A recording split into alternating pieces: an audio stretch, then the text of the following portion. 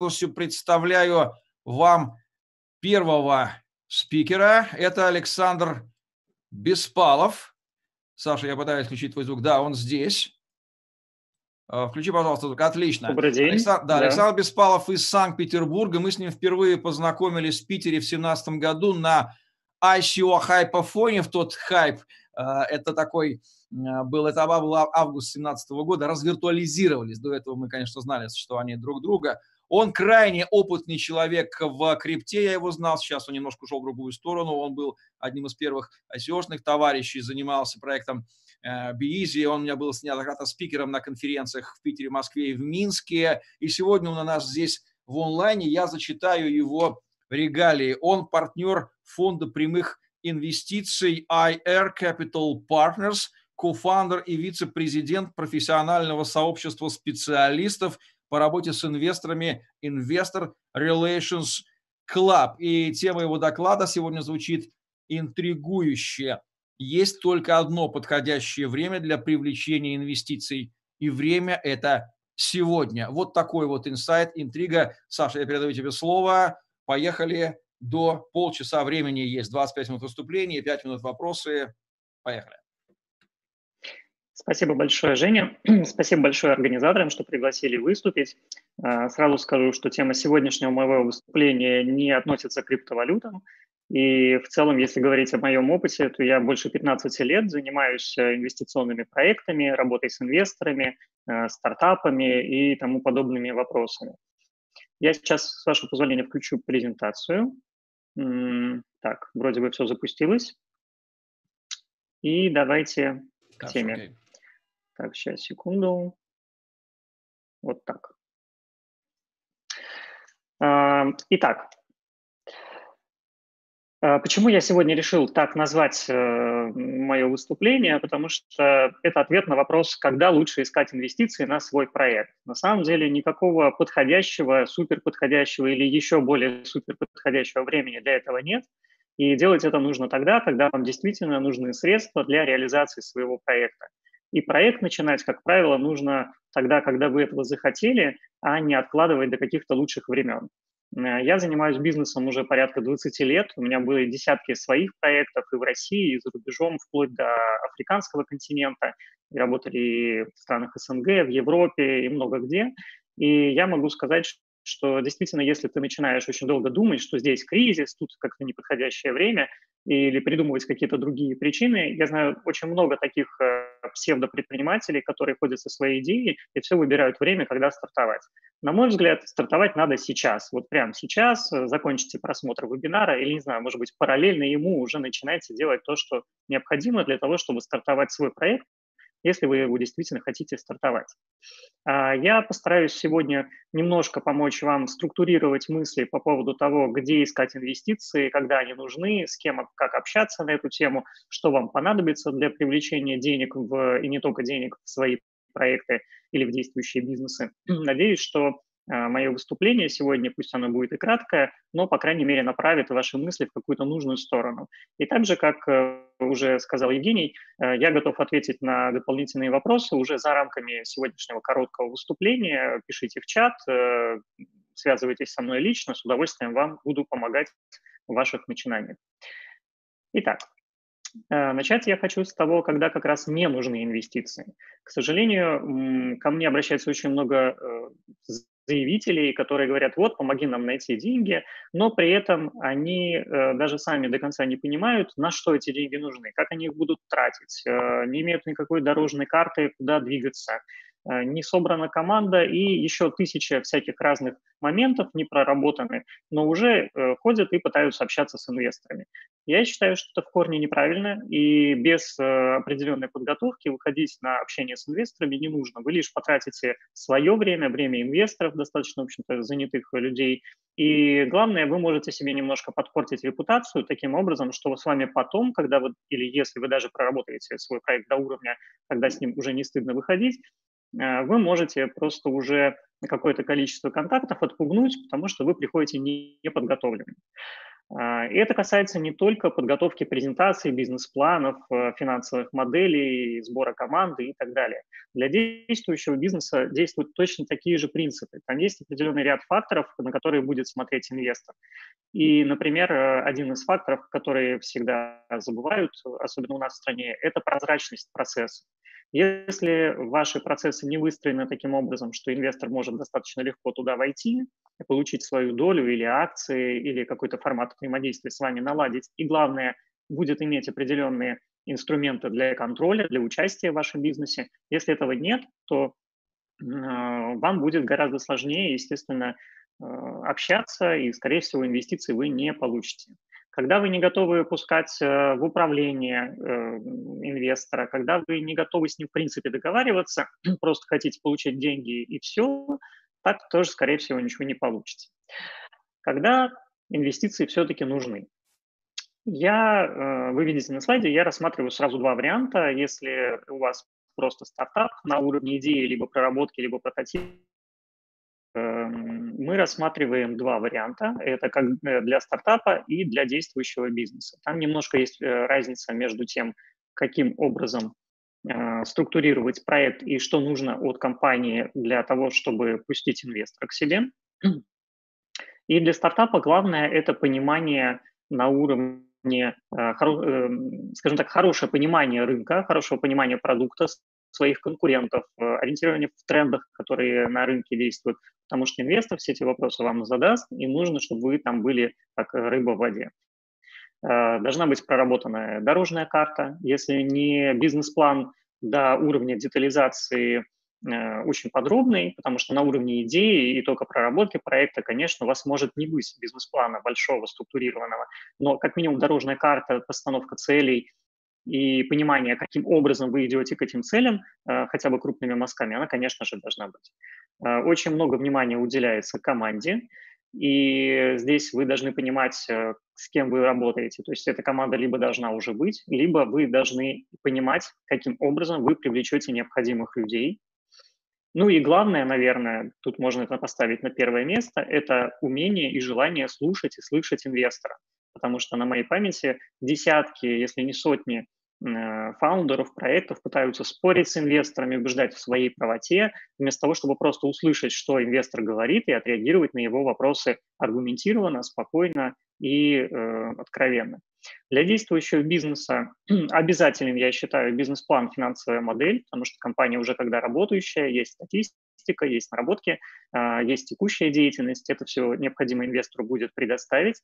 Как я уже сказал, э, прозрачность процессов и готовность пускать инвестора в управление. Ну и на самом деле тоже, наверное, на первом месте должна стоять готовность э, компании к переменам, потому что вход инвестора – это всегда некое третье лицо, которое начнет э, участвовать в, принимай, в принятии решений, э, каким-то образом влиять на деятельность компании. Вам необходимо будет подстроиться под это, и компания должна быть к этому готова. Какие бывают инвестиции в целом? Все знают, ну, то есть мы их э, разделим условно с вами на два больших типа. Это финансовые инвестиции и нефинансовые. Про нефинансовые я расскажу чуть позже. Про финансовые, надо сказать, что их э, форм, э, форматов участия инвестора финансами в вашем бизнесе, в вашем стартапе может быть очень много. Я вынес на слайд только некоторые из них, самые, скажем так, э, известные. И форматов привлечения тоже, соответственно, много. А, вы можете там, получить субсидию от государства, это, в общем-то, тоже некая инвестиция. Могут быть прямые инвестиции в капитал, могут быть э, различного рода инвестиционные кредиты, либо э, различные финансовые инструменты, которые позволяют привлечь заемное финансирование, разместив на бирже свои ценные бумаги, например, те же самые облигации. Это все э, только кажется очень сложно, на самом деле при помощи финансистов и юристов это прекрасно все структурируется, и в том числе в России все эти инструменты могут работать. И, в общем-то, мы пробовали из вот перечисленных, например, на этом слайде, я сталкивался абсолютно со всеми, и действительно, даже в России они работают э, достаточно хорошо. А, по нефинансовым скажу коротко, но это тоже достаточно важно. Э, зачастую нашим проектам нужны не деньги в прямом виде, а какие-то дополнительные ресурсы, которых у нас нет. Это может быть э, совершенно любые вещи. Если это IT, это могут быть интеллектуальная собственность, это могут быть какая-то экспертиза, это могут быть э, привлечение там, партнеров, э, какие-то услуги, которые вы просто экономите на них деньги. Это могут быть э, партнеры по продвижению продукта. Соответственно, один из форматов – это не когда вы платите за эти услуги, а когда вы пускаете такого партнера в капитал, он тоже становится одним из партнеров бизнеса именно, и при этом берет на себя определенный ряд функций. Либо вкладывает не финансовые а, какие-то другие активы, если это там, строительство, это может быть земля, ну и так далее, и так далее. Почему я на это обращаю внимание? Поскольку действительно очень часто мы пытаемся найти деньги, хотя проще найти конкретный ресурс, которого нам не хватает, и стартовать быстрее. А, где искать инвестиции в зависимости от стадии вашего проекта или бизнеса? Есть такая универсальная классификация pre-seed, seed, round A и так далее. Вы это можете увидеть в интернете, но что важно понимать, что в зависимости от э, степени реализации вашего проекта, от этапа реализации вашего проекта, если говорить э, от идеи, когда у вас вообще кроме идеи ничего нет, и там в лучшем случае презентация, и до э, той э, стадии, когда вы уже там активно растете, подключаете новые регионы, выпускаете новые продукты. Вот если пройтись по всем этим стадиям, на разных стадиях инвестируют разные типы инвесторов. Э, почему это важно? Потому что когда у вас только идея, достаточно глупо обращаться, допустим, в банк. Никакой банк никогда не даст вам деньги. У них другие регламенты. Они не работают с людьми на уровне идей. Ну, просто такого не бывает, потому что не бывает никогда. А, не надо совершать такие ошибки. То же самое фонды. Э, исключение составляют фонды, которые на, допустим, пресид э, вкладывают в предпосевной так называемой стадии. Таких фондов очень мало и достаточно трудно их искать.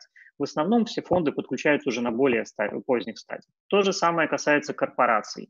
То есть э, достаточно глупо идти, там, не знаю, в «Газпром», продавать продукт, если у вас продукта нет еще, у вас есть только идея. С вами там, ну, может быть, поговорят какие-то специальные люди, которые там занимаются инновациями, но услышаны вы вряд ли будете, и в лучшем случае, опять-таки, вас направят в акселератор при э, этой корпорации, что, кстати, очень хорошо, но даже акселераторы, как правило, стараются на более проработанных стадиях э, привлекать проекты.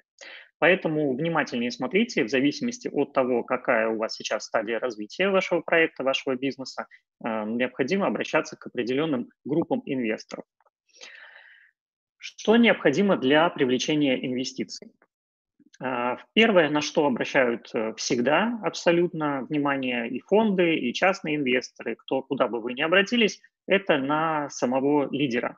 То есть если вы фаундер проекта, э, вы, конечно же, представляете этот проект, являетесь его лицом, и без вас, собственно, ничего не получится. Я сталкивался достаточно часто с э, командами, которые говорят, ну вот мы там разработали идею, там что-то проработали, а теперь мы наймем там какого-то менеджера, который будет э, этим проектом рулить. На нескольких первых стадиях, то есть пока проект только стартует, начинает развиваться, это, естественно, нереально.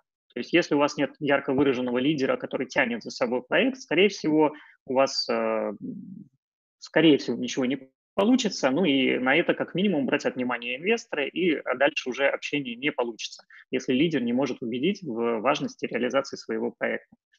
Про команду я уже говорил, то есть э, это должно быть необходимое количество специалистов и достаточное для того, чтобы реализовать проект.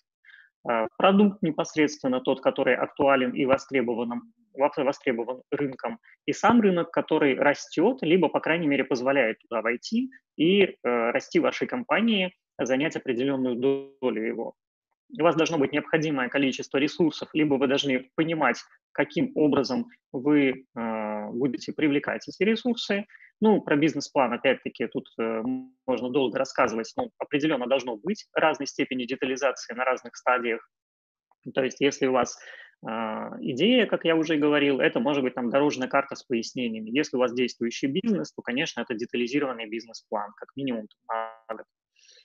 А, презентационные материалы, тоже об этом, наверное, говорить сейчас э, не стоит долго, но понятно, что бизнес-план сразу читать инвестор не будет, ему нужен некий тизер на одну-две странички, где очень четко написано про ваш проект и ваше предложение инвестору.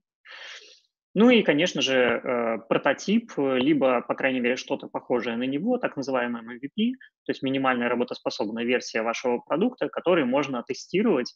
Э, это влияет на привлечение, очень, на привлечение денег очень сильно.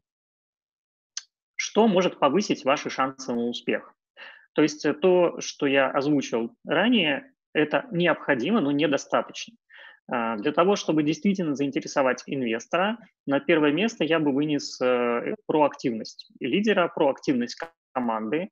То есть если вы просто раскидаете свою заявку по фондам, по инвесторам, будете сидеть ждать, с вероятностью 99,9% ничего не получится, никто не будет за вами бегать, а, поскольку таких заявителей, как вы, сразу очень много. То есть ко мне иногда приходят по десятки проектов в день, а если говорить о крупных фондах, я думаю, что это можно там на 100 умножать и не ошибешься.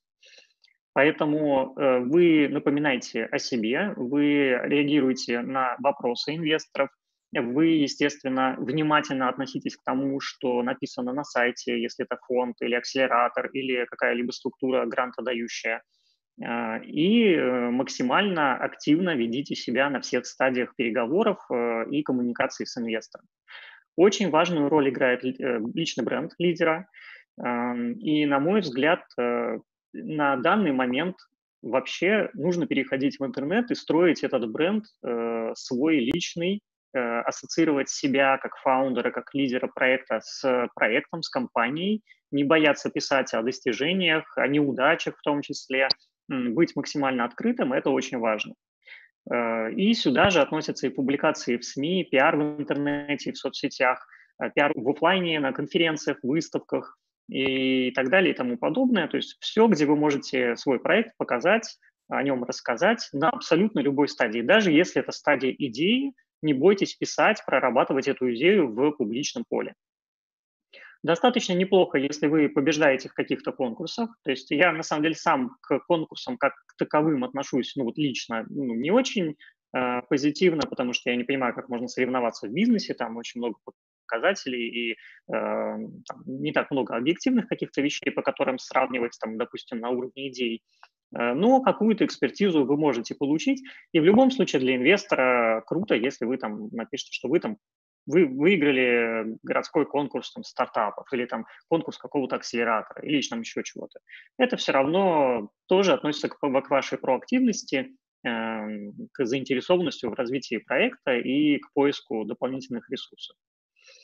И, конечно, очень важно, когда э, вы имеете с инвесторами или представителями инвесторов э, дополнительные контакты, э, совместные, общие контакты на личном уровне, когда кто-то может вас лично представить инвестору и сказать, что да, вот Вася, я его рекомендую, действительно, как минимум выслушайте его. Это ваши шансы повышает просто сразу же на порядок, поэтому так называемый нетворкинг стройте и стройте активно. То есть если вы хотите заинтересовать инвесторов, значит, э, вы просто обязаны коммуницировать с теми, кто коммуницирует с инвесторами, коммуницировать с инвесторами напрямую, участвовать в различных э, конференциях, тусовках онлайн, офлайн и постепенно нарабатывать эту базу, но опять-таки не для того, чтобы сразу всем все продать, а позиционировать себя как фаундера проекта, адекватного, активного, заинтересованного, и тогда, в общем-то, есть вероятность, что даже сами к вам будут обращаться по тем вопросам, которые,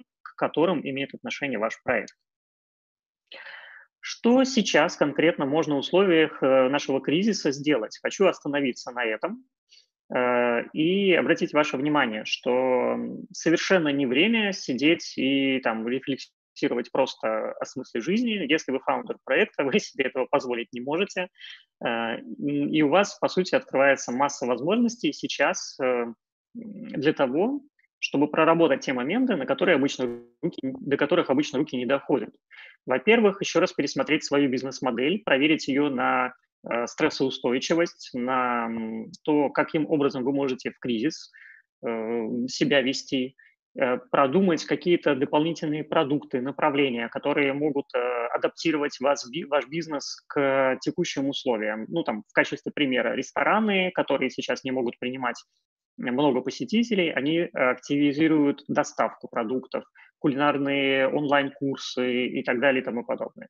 Если вы э, там, туристической отраслью занимаетесь, у вас там все встало, значит, тоже вы уходите в онлайн, предлагаете виртуальную реальность, э, там, путешествия по музеям, там что-то еще, а, ну, то есть придумать там дополненную реальность какую-нибудь, игры, связанные с туризмом в онлайне и так далее, и так далее, и так далее. То есть придумать можно очень много чего. А, стоит посмотреть на рынок вокруг себя, на своих конкурентов. Для кризис любой, это для многих, э, особенно для тех, у кого есть средства, либо которые для тех, э, кто умеет привлекать средства, например, в виде инвестиций, сейчас открывается масса возможностей. То есть разоряются, например, ваши конкуренты, вы можете купить их э, активы, базы клиентов, какие-то ресурсы.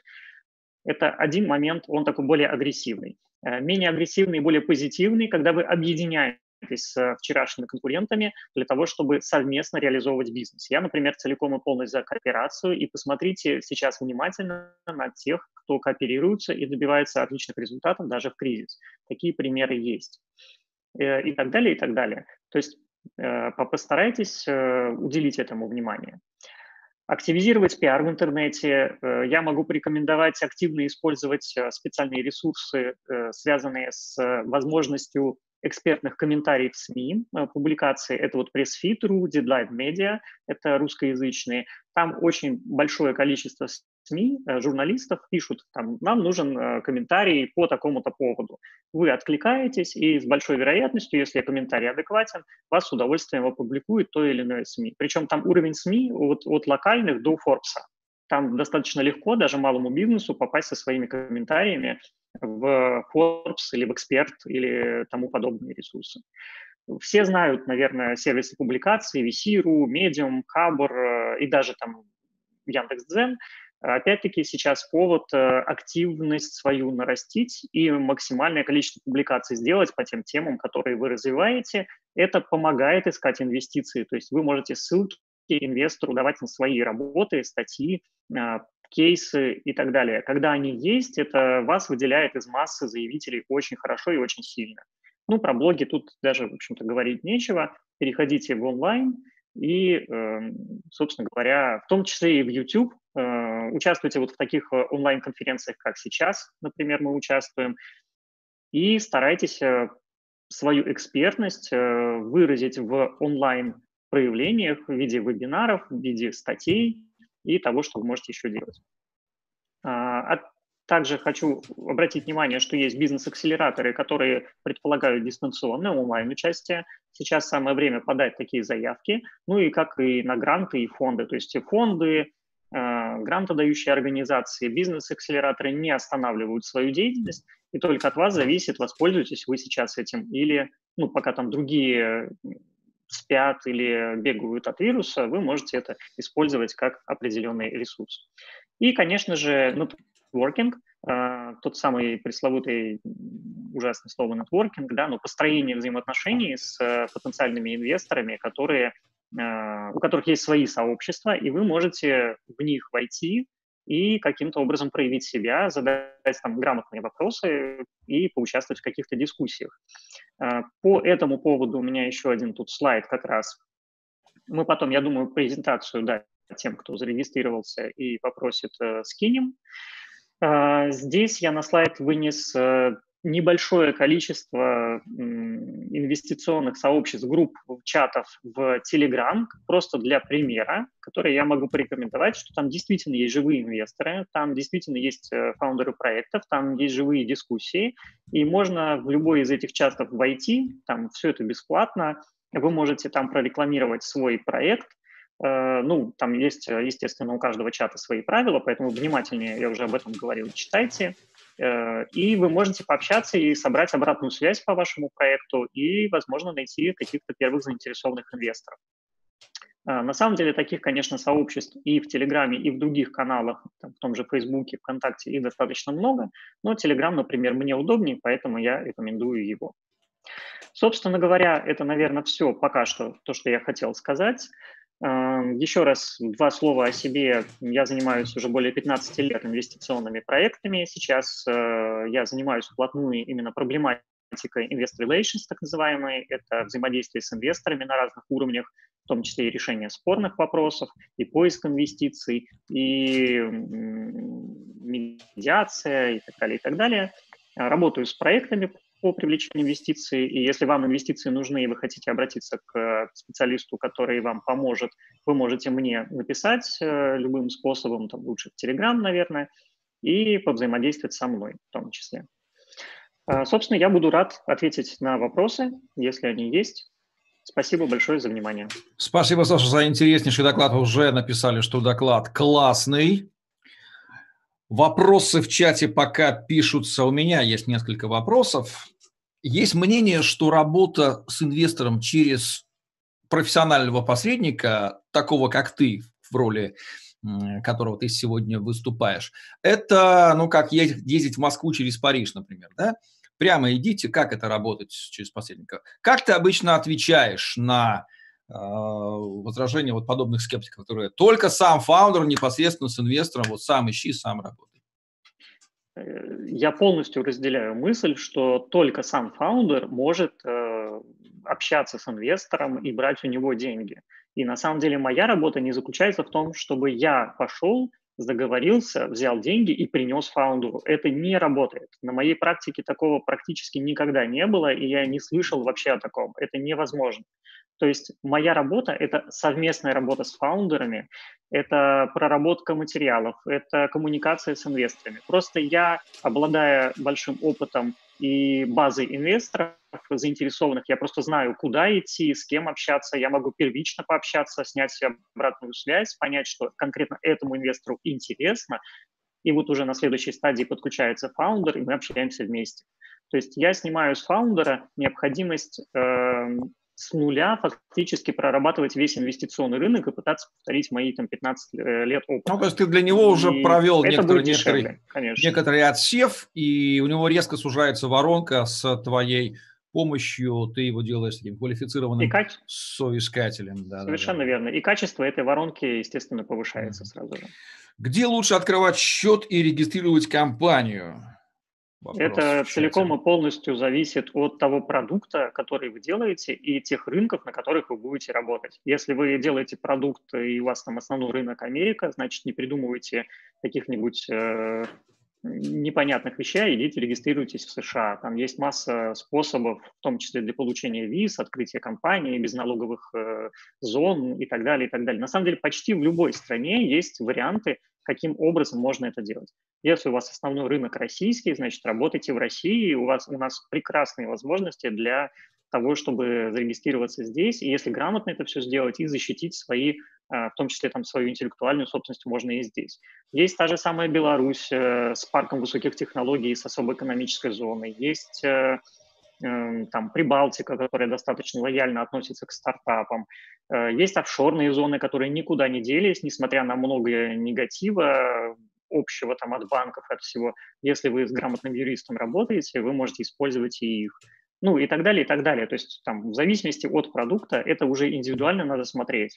Нет универсальных юрисдикций, вот что любой проект, идите там, не знаю, в Швейцарию, все будет хорошо. Нет, такого нет. На моей памяти ты поднимал инвестиции в криптоиндустрии, сейчас ты в обычный фиат, назовем его так, а также ты был в Азии, я тебя ловил как-то в Китае, ну и знаешь, что происходит на Западе. Вот тебе матрица, матрица 4, 2 на 2, 4, 4, да? Запад, Восток – криптофиатная. А, каждый из четырех элементов этой матрицы объясни, что работает, что нет, где можно ловить, где, где нельзя ловить. Понял, да, задачу? Да, э, я абсолютно уверен, что работает все, и на нашем опыте работало все. А, естественно, что когда ты живешь в России, у тебя менталитет российский, тебе проще всего работать э, в России и в странах СНГ. Это просто комфортнее, один язык, один менталитет практически у всех, там Беларусь, Украина, ну там условная Грузия, там Казахстан там, и так далее. А, тут, конечно, комфортнее с точки зрения того, что люди лучше тебя понимают, хотя тоже есть своя специфика в каждом регионе, даже России и это тоже надо учитывать. А, с Азией работать достаточно сложно и абсолютно необходимо, чтобы у вас там был проводник, э, желательно какой-то именно местный, который будет очень лояльно к вам настроен и будет э, заводить вас в правильные сообщества, к правильным семьям, в правильные коммуникативные там э, сообщества там, и так далее. То есть там тоже можно работать, они достаточно лояльно смотрят на русских и, в принципе, бизнес готовы делать, но вот эта восточная специфика, она достаточно сложная, если вы никогда с ней не сталкивались. Я, на самом деле, был э, не в Китае, а в Южной Корее и в Японии, и еще ну, в Таиланде, еще в нескольких странах. Там везде есть свои нюансы. А, мы работали в Африке, например, э, с не криптовыми, а с фиатными проектами, там, вплоть до добычи редких металлов. Там замечательно работать, и тоже есть своя специфика очень э, интересная. Но, кстати, они, вот там, где мы работали, в Черной Африке, в Южной, э, в Зимбабве, там они достаточно европеизированы. Э, с Европой неплохо можно договариваться. США, по-моему, с русскими договариваются прекрасно. У нас менталитет очень похож. То есть вот с Азией, например, сложнее во многом их понять. Но еще раз, работать можно везде, поднимать инвестиции можно везде, и реализовывать э, проекты тоже можно везде. Я не вижу никаких препятствий вплоть до, не знаю, Ирака, Ирана, Сирии, вот где угодно. Оптимистично, жизнеутверждающее. Выходят, рискуют и Действительно звучит. Сливки. Вопрос, практикуется ли привлечение инвестиций по соглашению САФЭ, ну, как сейф, сейф, сейф э, безопасный, на просторах СНГ, и где в основном сфокусирована венчурная активность, да, в каких конечно. городах? Вопрос понятен тебе? Сейф, САФЭ, да. Сейф, да. Э, еще раз, это практикуется. Практикуется в основном от профессионалов э, венчурного рынка, то есть это венчурные фонды, это бизнес-акселераторы, которые помогают э, с финансированием в том числе, и иногда, ну, прям такие продвинутые инвесторы. То есть у нас это не самая распространенная форма, но она на международном уровне котируется нормально. Это просто одна из форм соглашения с инвестором, когда деньги потом конвертируются на определенном этапе в акции можно почитать в интернете, сейчас не буду на этом останавливаться. Где венчурная активность у нас в России максимальная, это, естественно, Москва, ничего более умного тут не придумаешь, Санкт-Петербург неплохо, а, и некоторые отдельные регионы, типа, например, э, Казань. Были ли случаи госинвестирования за последние полгода? Вопрос, да, госденьги в качестве инвестиций. Это токсичная штука, но что, как скажешь? А почему нет? Токсичная она в том случае, если вы потом работаете с этим проектом, а, с, допустим, американскими инвесторами или выходите на американский рынок, ну и потом токсичная в кавычках, то есть если вы грамотно это все делаете, там разбиваете на несколько компаний, и, в общем, это тоже можно делать. А, да, действительно, государственные инвестиции в некоторых странах зарубежных потом не любят. Ну, можно это все структурировать так, чтобы это все было ок. Э, государственные инвестиции никуда не делись. Э, тот же Сколково работает и работал. Мы сами только что проводили там большую конференцию в феврале, успели до карантина, и на 100 человек как раз по инвестиционной тематике, и прекрасно все прошло. Инвестиции государственные есть, никуда не денутся, и в условиях кризиса, скорее всего, государство будет наращивать эти инвестиции, потому что подменяет собой ну, то есть доказывает таким образом поддержку бизнесу. И под финал три рекомендации мы будем брать у каждого спикера за 30 секунд. Три рекомендации от Александра Беспалова. Что делать в кризис людям? А, будьте активными, эм, будьте оптимистами и позитивными, и не останавливайтесь, продолжайте делать то, что вы делаете, и делайте это максимально хорошо. Ну что же, прекрасно. Спасибо, Александр Беспалов из Санкт-Петербурга. Фонд прямых инвестиций IR Capital Partners открыл сегодня наш второй день онлайн-марафона. Он есть в чате. Его видео, презентацию, подписавшимся, зарегистрированным, вы получите. Саша, я благодарю тебя. Тебе хорошего дня. Спасибо. Отвечаю тебя. В чате общение продолжаем. И спасибо за участие. Сегодня свяжусь с тобой, возьму у тебя обратную связь. И кто знает, может быть, мы еще увидимся, если ты аудитории понравишься прям так, так, так, что он скажет, дайте нам еще Беспалова, он классный и умный. Спасибо, привет Петербургу. Спасибо, всего доброго.